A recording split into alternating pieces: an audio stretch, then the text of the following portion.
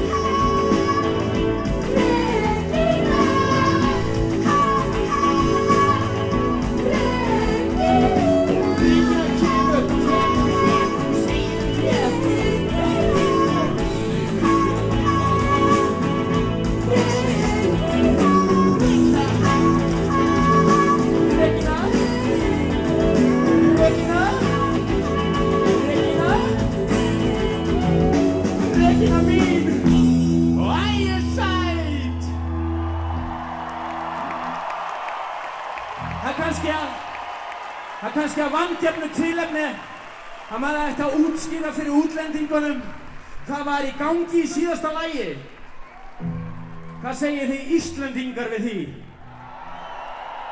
Eða heldur að haldið að mér myndi nokkuð endast kvöldi til þess? Ég held ekki, þetta er svona langa vitleisa. En eins og kunnugt er þá erum við hljómsveitin Sigurmúlarnir. Og við ætlum að flytja, við ætlum að flytja nokkuð lög þegar ég er búinn að tala. Ég hef víst frjálst orðið í kvöld og ég ætla að fara að bjóða mig fljótlega til þings.